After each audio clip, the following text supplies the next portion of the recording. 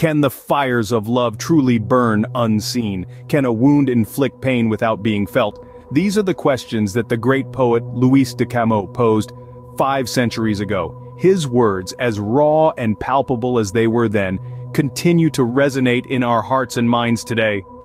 Camões, the celebrated poet of the Portuguese discoveries, often drew parallels between the human spirit and the vast uncharted landscapes of the world. And to celebrate the 500th anniversary of the birth of the Poeta Camões in the Second World Congress on Facial Expression of Emotion, Porto 9, the 11th of October in Oporto, Portugal.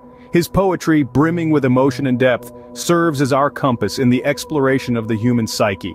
Just as the poet's stirring verses navigated the turbulent seas of human emotion, modern science has embarked on its own journey.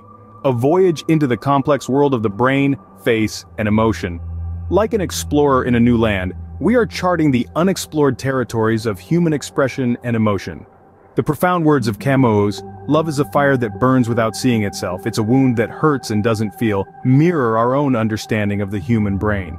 Just as love can burn invisibly, the brain too operates unseen, its intricate processes shaping our thoughts, emotions, and behaviors.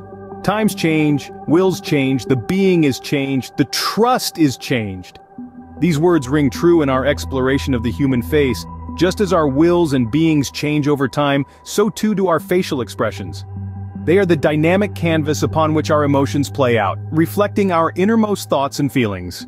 In this video, we've delved deep into the poetry of Camões, drawing parallels with our understanding of the brain, face, and emotion.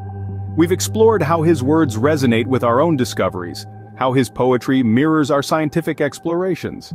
In essence, the works of Camões and the study of the brain, face, and emotion are two sides of the same coin. Both seek to understand the human experience, one through the lens of art, the other through the lens of science.